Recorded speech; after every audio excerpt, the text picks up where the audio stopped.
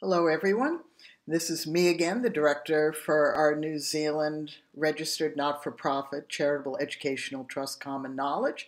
I'm the director and the founder, which meant that I created the trust in the 1990s from the work that I and hundreds of ordinary fathers and mothers like you developed in the early 1970s.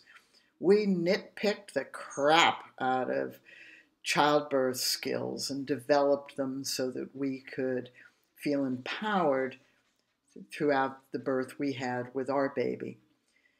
When I gave birth in 1970, first in the United States, the very first childbirth preparation classes were being taught, Lamaze and Bradley, and in New Zealand, where the trust is and where I've lived, was Grantly Dick Read, Childbirth Without Fear. And that's what we're going to talk about childbirth and fear. But in the 1970s, we learned skills. That was what the childbirth preparation was about. So we went into hospitals in the United States and we just tried to use the skills that Bradley and Lamaze and in New Zealand, Grantly Dick Read had suggested that low risk women should use in order to achieve three narrow goals natural birth, pain free labor, without medical interventions. The skills worked for some of us, but they didn't work for many of us because the belief was that you had to be low risk. So, us who had high risks, we weren't certain that the skills would work for us, or if our risks changed, they didn't work, or if things changed, or we didn't have what we considered to be a normal birth, or whatever. So, a lot of times, the skills just didn't work, and they weren't adaptable or adjustable or sustainable. But at that point in 1970, there was a belief worldwide, globally, throughout time, that women suffered in childbirth. And women were terrified of birth because they didn't want to suffer. And suffering had nothing to do with having a problem, it had to do with the fact that women lacked skills because women throughout time have been faced with a global truth. There is no way to know what your birth is going to be like. It's just a global truth. That's true today. That's why the modern medical profession does so much assessment, monitoring, and procedures. Everybody, women, want to know if we can reduce the risks because there's no way to know what our birth's going to be like. And babies don't come to plan. So when I gave birth in 1970, it was normal for women to be afraid of birth. We didn't think anything of it. We just thought it was absolutely normal and natural to be anxious about our birth because we didn't know what it was going to be like. But when I gave birth last in 1982, the natural birth movement and home birth midwifery movement had started to give a global message. And part of their global message is that women shouldn't be afraid of birth, that birth was this instinctive thing that we knew. And we can understand how people think this way. Women are the only ones who get pregnant. So you think that we would know how to do it. But we have to ask ourselves is that a reality? Is, is it true that just because we do something physiologically, that it means we know how to do something? And the reality is is that no just because it happens to us doesn't mean we know how to do anything about it. I mean take being horny that's natural. We all have the urge. Do we become a good lover instinctively? No we have to learn skills. How about being hungry? We get hungry many times during the day. Does it mean we instinctively know how to cook? No we have to learn the skills does it instinctively mean that our children know what's safe to put in their mouths? Not if you've had children. You know, we spend months and years taking things out of kids' mouths.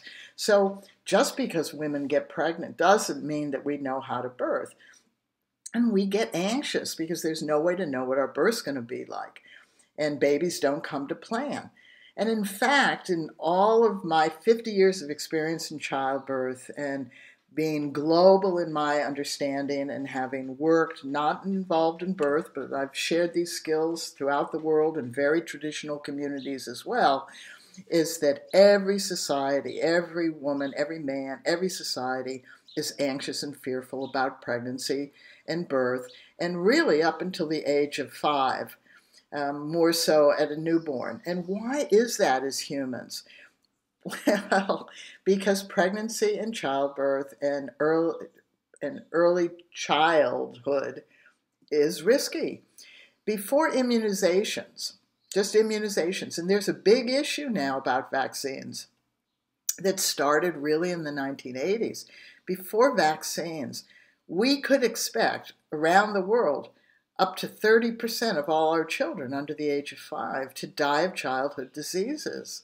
That's why vaccines were developed. Vaccines weren't developed as a way for the government to control us or for the medical profession to impose interventions on us. It was because we didn't want our children to die of measles or to die of diphtheria or typhoid.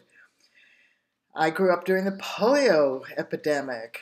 We were desperate to get a vaccine for polio.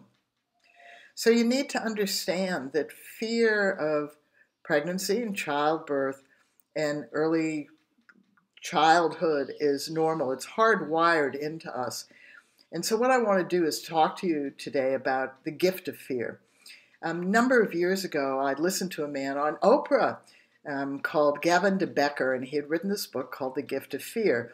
Now, the, his book had to do with people sensing uncomfortable situations. And he talked about a woman who had been walking and she had these anxious moments because there was a person following her. And so when he went over her story, there were 35 moments where she felt anxious and did nothing about them. And she got mugged. So he talked a lot about how important it was to pay attention. And so, what I did was to extrapolate what he was saying into this broad field called childbirth. And I want to talk to you about this today because this is a skill. And our trust, common knowledge that holds the birthing better skills, is all about skills. Mothers and fathers, all of us wanted to be skilled. And we wanted to be skilled for several reasons. One is in childbirth, we wanted to cope better, manage, work through, deal with, handle, stay on top of, and feel in control. So we didn't want to feel overwhelmed. We didn't want to suffer because that just made us more fearful and that was more dis- distressing when we suffered in childbirth. So we developed skills in the 70s to cope and manage better and work together better because Lamaze and Bradley and Grantly Dick Read's skills only focused on low risk women and not on all of us because 100% of pregnant women are going to give birth one way or another. And it's an activity each one of us is doing with our baby. So it makes common sense that all of us have skills to do work through the activity of birthing our baby one way or the other. So, but then as the medical profession began to become more sophisticated and modern women demanded a reduction of risks, and this is one of the funny stories that I, I sort of tell a lot. Um, we had classical cesareans in the 1970s. Cesareans were, were done only to save our lives as women, and 95% of us labored, whether we had risks or whether we were low risk, whether we suffered or whether we coped well, whether we had short labors or we labored for days, whether we had good outcome or whether we had tragedies, because the medical profession wasn't sophisticated enough but we were just having our husbands come in. We wanted somebody to help us not suffer. We wanted to reduce our fear by having something to do. So fathers came in to labor, but they couldn't come into our cesareans because we got knocked out. This was such major surgery. And you know what happened in the 1980s? We started wearing bikinis. This is just absolutely bizarre. People just don't understand it, which meant we exposed our bellies. So those of us who had had cesareans had this scar that ran from our pubic bone to our navel, and we wanted to wear a bikini. So we put pressure on the medical community to come up with a different type of cesarean, which they did. It's called the bikini cut. They didn't make up that word, right? We demanded it. The low line incision gave us the ability to try for a vaginal birth after a cesarean, not be left with a scar, for them to be able to use a spinal or epidural, which was getting to be new rather than knocking us out, and having fathers come into cesareans. And throughout the history of modern childbirth, we have demanded that they provide us with less risks. And that's because we feel frightened. And the natural birth movement told us not to feel frightened. And I have traveled for 50 years, and every culture is frightened of childbirth because they know it's a transitional period pregnancy, childbirth, and up to the age of five. If a kid can make it to five, pretty much they're going to live until they're 80 unless something happens. So we, and, and that's the re- when people say, oh, people only used to live until 40, it's because 20 to 30% of the younger population died. It's not because we all died at 40. So, what is the gift of fear? The gift of fear is really important for all of us to learn throughout life, absolutely, and something we need to be teaching our children. When we are afraid, what happens? What happens when you feel frightened? You become aware, you become hypervigilant. This is good, right? It's good because that awareness is asking you so when I feel fear and I become aware, I pay more attention. So, what do you pay attention to? Well, certainly you pay attention to external factors, but you also pay attention to internal factors. So, and COVID is a perfect example. For people who get COVID, this is a virus our bodies have never had. And those people who die, who get this cytokine storm, their body is having a intense reaction to this new virus. We feel the fear of our body trying to cope with something new. In childbirth or in pregnancy, when we are anxious and fearful, we are paying attention. And this is what we need to pay attention to because this is one of the great skills. Now, it is not in any of our Birthing Better resources because I actually had to limit some of this. We did the practical skills, but I talk about this a lot. So you're getting the skill today. And who and please pass this on. Please subscribe. Please tell others about our YouTube channel and our Birthing Better. When you are frightened and you pay attention and you what do you do first? you ask yourself this question, even though you don't know you're asking it Am I at risk of dying or being seriously injured within the next five minutes? That's what, what we want to know. Is this fear real now? Okay, that's what we want to know right now. And if it is, what's the appropriate response? Get help or do something. So if you're driving a car and a kid runs across the road, that fear rises in us immediately. And we immediately begin to respond, okay? Because our mind and our body understand that in the next five minutes or less, I or that child or car can be dead or injured. And so we react. We're doing something for ourselves. But if we're pregnant, we can get outside help. So the first question you ask when fear rises in you is Am I or the situation going to be dead or seriously injured in five minutes? Get help or do something. And that makes common sense. This is the gift of fear. If it's not five minutes, extend the time frame out. You can extend it to an hour, up to 12 hours. Honestly, if you are in a flood or a hurricane or a tornado, you may have to extend out for a period of time, or a war zone, right? Or labor, right? You have to, or a kid who's sick, or us who's sick. So if you extended out a period of time, are you or the situation dead or seriously injured within the next up to 12 hours? If the answer is yes, do something or get help. That is the gift of fear. But after 12 hours, the fear doesn't go away because our observation needs to continue until there's a resolution. If five minutes or 12 hours, nothing happens, extend further. Just keep paying attention. It's either going to get worse, in which case, do something or get help, or it's going to resolve. So, the gift of fear in pregnancy, the gift of fear in childbirth, you, we need to grow it. The natural birth movement since the 80s has been telling us don't be afraid, it's a weakness, just trust birth. And th- this is why I'm doing this series. Because, the, the, and this is going to sound like I'm very much against the natural birth movement. I'm not against the natural birth movement. I am against the ideas and the words that have sprung forward from inaccurate perceptions. So, for example, when the natural birth, natural, that's the word, natural birth or normal birth or physiological birth, when those words are used, those words have been twisted to mean easy, good, good outcome, manageable. We know that. I, I had a natural birth, right? I had a spontaneous physiological labor that in, implies everything was fine. In reality, throughout time, the words natural, normal, and physiological have always meant anything might happen.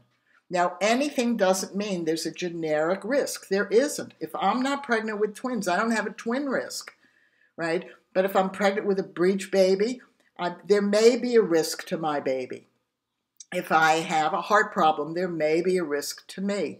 And this is where the gift of fear is so important. It gives us the ability to be uh, to have observation and to respond rather than to react. Okay, a person driving a car and a kid runs across the road, it is better to have somebody respond than to react because a person reacting is just doing whatever. Okay, so in pregnancy and childbirth, we need to grow this gift. If in pregnancy we feel that something is wrong right now, we need to get help or do something. Okay, if we think it might be wrong up to 12 hours, we have to get help or do something. If we have to pay attention, it is either going to get worse or it's going to begin to resolve itself. But for pregnant women, particularly, that anxiety never really goes away. And why is that? This is a gift. This isn't a problem. It's a gift. Because what happens after your baby's born? How many newborn babies can sit up and say to you, Mommy, I don't feel well? None. They can't talk. Our children cannot tell us. They behave how they feel. They move, they make sounds. We have to interpret those words and sounds. We have to interpret them. If we have been told, don't be afraid in pregnancy, don't be afraid of birth, just trust it, then we're basically being told, just trust our newborn, whatever. And this is why we have so many people, particularly with first time mothers, go, going every time their baby moves, goes, What's the matter? Okay, they haven't been told how to grow their gift of fear. So everything puts them at a heightened level that this is a problem. This is why people who have a second baby have grown that gift of fear. They've been able to discern is this an emergency? Is this almost emergency? Can I just pay attention to this? Can I just watch this? This is why parents with other children, second child, become so much more relaxed but that's because we've been told not to be afraid. We need to be taught. And all of you listening to this, you need to be able to teach this to others. This is an idea. The idea is that the fear that we have in pregnancy is a gift. Okay, that's the idea. The words are we need to grow that gift of fear. And the actions we take are simple pay attention. And if we think that we need help within five minutes to 12 hours, seek it or do something. The actions are if we need to wait, if we wait past 12 hours, stay observant. Okay? So that you know, you begin to trust your ability to be observant. This is so very important. I, my job after 50 years is to teach you the ideas of this new childbirth trend, teach you the words, teach you the actions.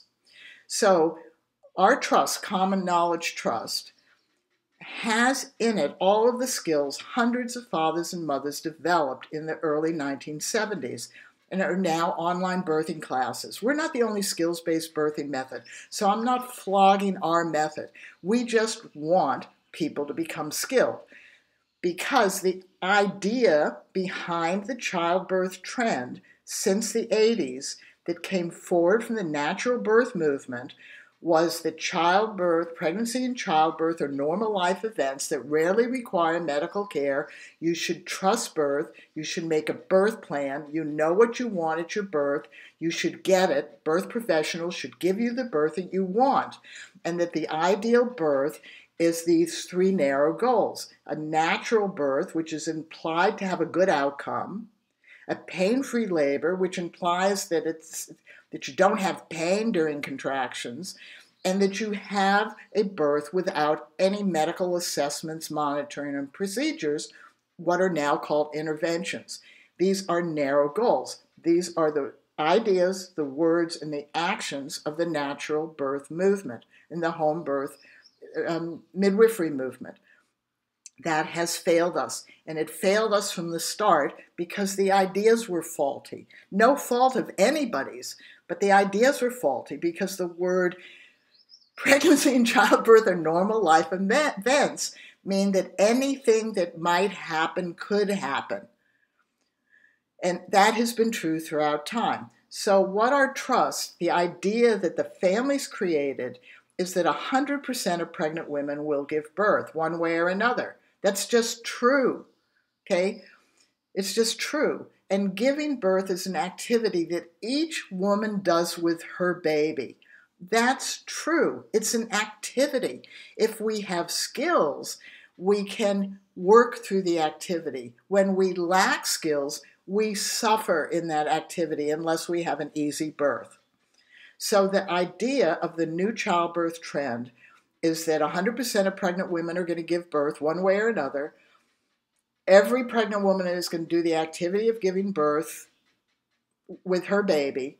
Every activity humans do is something that we pride ourselves if we have skills. We feel better if we have skills. Everything from having sex and being a good lover to knowing how to cook to knowing how to drive a car to paint to build a house to be a parent, for goodness sakes. So birth should be elevated to a very one off activity, an infrequent activity, something that we should be proud of having some skills to work through. This is the new trend. And so, therefore, it should be normal and natural to self learn birth and birth coaching skills in our pregnancy and then use those skills as our birth unfolds and we do the activity. Now, is this for the 100% of pregnant women? Absolutely because our body, whether we have a non laboring cesarean or an unplanned cesarean, our body, our hormones, everything about us is preparing to have a labor and a vaginal birth.